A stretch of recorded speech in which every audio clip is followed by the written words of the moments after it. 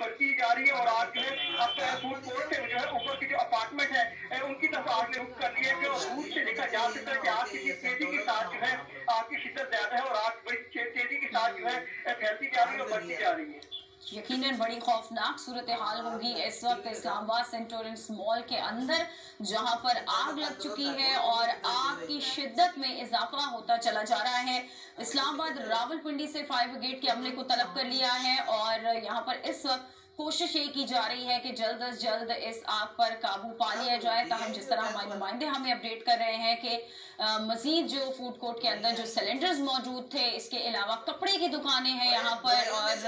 आज ईद मिलादुलनबी के मौके पर खास तौर पर मुख्तलि ब्रांड्स ने आज सेल भी लगाई हुई थी तो लोगों की भी एक कसीर तादाद मॉल के अंदर थी और अब कोशिश की जा रही है कि वो तमाम अफराद जो मॉल के अंदर है, उन्हें किसी तरह से रेस्क्यू कर लिया जाए। अच्छा ये बताएगा कि ये सेंट्रल्स मॉल की जो इमारत है, कितनी मंजिला ये इमारत है और यकीनन यहाँ पर कोई इंतज़ाम तो होगा कि जब आग लगी हुई हो तो कोई अलार्म बजा हो, फायर अलार्म्स होते हैं इंतज़ाम के बारे में कुछ मालूम हो सका है यहाँ पर?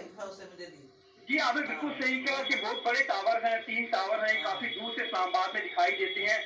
और यहाँ पर फायर ब्रिगेड का अलार्म सिस्टम भी है, अलार्म भी बजे, लेकिन आग जो है, आग ने बड़ी तेज़ी से जो है फैलना शुरू कर आग की जो है एकदम तेज होगी जिसके बाद देखते देखते आग ने जो है जो आसपास की जो दूसरी जो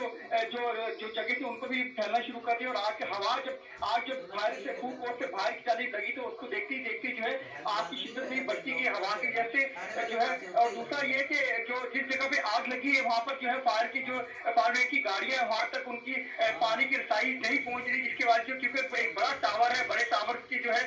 काफ़ी ऊंचाई मंजिल फोर्थ फ्लोर पे आग लगी है फोर्थ फ्लोर पे पहुँचने के लिए अंदर से रास्ता लेकिन बाहर की जाने जो है, आग बाहर की तरफ़ बढ़ चुकी है और आग जो है, देखती देखिए फ़ूड कोर्ट में जो खाने पकाने के सिलेंडर है गैस के जो कनेक्शन थे उनमें भी आग लग चुकी है, जिसके से आग की शीतन में इजाफा होता जा रहा है